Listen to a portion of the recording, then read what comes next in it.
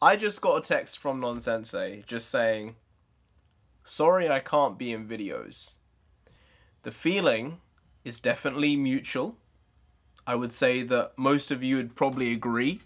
You would prefer Nonsensei to be here as well. I feel like the banterous nature of us both being in videos does make them markedly better. And for me, it makes them more fun to edit because normally she says something pretty stupid and I have to try and cut it in or just cut it out completely.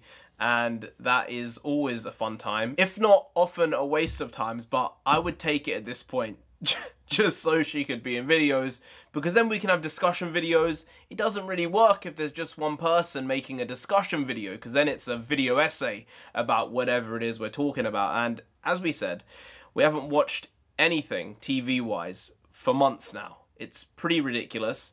And I do feel creatively I'm going a bit defunct by not watching stuff. I shouldn't be because I have enough in my head to be able to manage, but I do feel like the the wheels and the cogs are grinding to a very slow halt right now. And the quicker we can start engaging with this shit again, the better.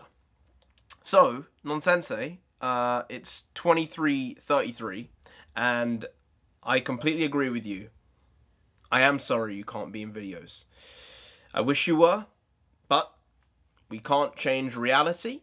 Unfortunately, I'm not Thanos. I don't have the red reality stone to be able to get that job done. I believe it was called the Aether, wasn't it? I don't have it. I don't have it.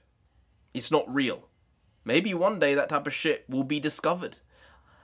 I wouldn't put money on it, but it's possible. It's possible. We could get to Mars as humans and build and colonize it. I'm just not sure exactly when that's going to be, whether it's going to be in my life or not and that that can be a returnable journey and not just a one-way trip. I don't know what the hell I'm on about right now. Point is, Nonsensei is dearly missed, and I'm sure you guys really, really do feel the same as I do right now.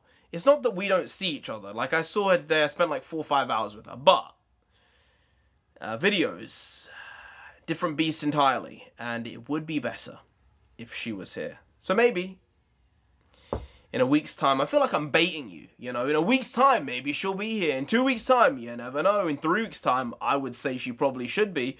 Um, but take everything I say with a grain of salt because I cannot control insurance. I cannot control the builders, and that's just...